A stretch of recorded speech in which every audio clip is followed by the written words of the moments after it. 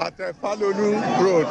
The talk just came with face mask and hooded mask and they shot sporadically and cut away with the ballot box and the beavers machine. You can see right here now. Look at everybody. They came all the way from this side. Then a Korope bus and shot periodically to the air. And everybody ran away and they took away the ballot. You can see the observers. Look at them. You can see the observer. Right, I just witnessed this myself. Right now. Look at, yeah, how are you guys? This is front of uh, Bajabia Miller's office. You can see that's Bajabia Miller's office, constituency office. Right in his Look at, you can see.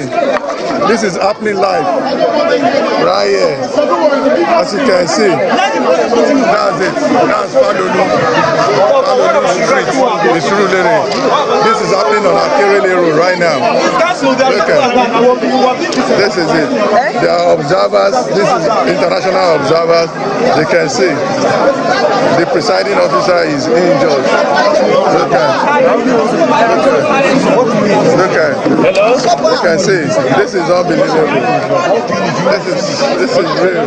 It's happening real. They are struggling. But, but we are grateful that there is nobody.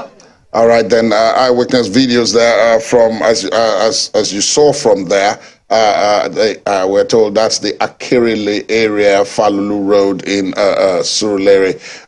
We must again emphasize that these are eyewitness videos that were sent in to us. The allegation is that ballot boxes uh, were carted away at this last location. Uh, Olu had reported immediately before that uh, about uh, uh, uh, ballot boxes actually being taken and burnt.